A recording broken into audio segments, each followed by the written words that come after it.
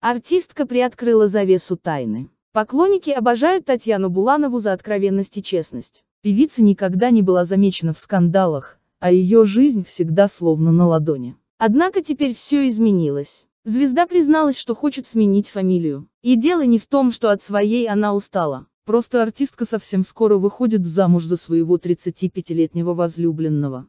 Ради будущего мужа Валерия Руднева знаменитость готова пойти на возню со сменой документов и хождение по разным инстанциям. Однако бюрократические процедуры вовсе не страшат 54-летнюю невесту, как и 19-летняя разница в возрасте с избранником. Я решила, что возьму двойную фамилию. Буду Буланова-Руднева, призналась певица порталу про звезд.